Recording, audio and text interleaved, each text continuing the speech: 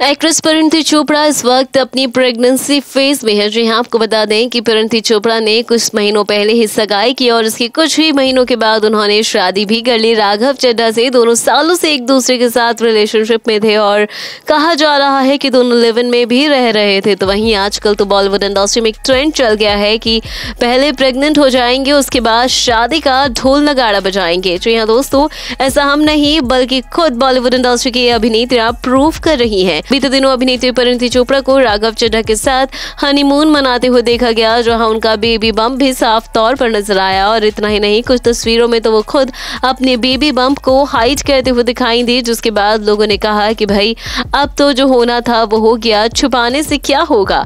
बता दें कि बीते दिनों परिणति चोपड़ा ने कहा था कि वो जल्दी ही एक और गुड न्यूज़ अपने फैंस के साथ शेयर करने वाली है, जिसके बाद कयास लगाए गए कि परिणति चोपड़ा माँ बनने वाली है और राघव चड्ढा और परिणति चोपड़ा इस वक्त अपनी प्रेगनेंसी फ़ेज़ में है, जो यहाँ आपको बता दें कि राघव ने भी ये अनाउंस किया था कि वो परिणति को काफ़ी सरप्राइजेस देने वाले हैं, क्योंकि उनकी वाइफ ने उन्हें एक शानदार गुड न्यूज़ दी है। फ़िलहाल अब तक दोनों ने ऑफिशियल नहीं किया है, लेकिन कुछ इंटरव्यूज़ के दौरान ये हिंट ज़रूर दे दिए हैं कि भाई उनके घर पर अब एक और नन्हा मेहमान आने वाला है। आप कमेंट करके बताइए कि दोनों की शादी के बाद की तस्वीरें और प्रेगनेंसी वाली खबरों पर आपका क्या कहना है?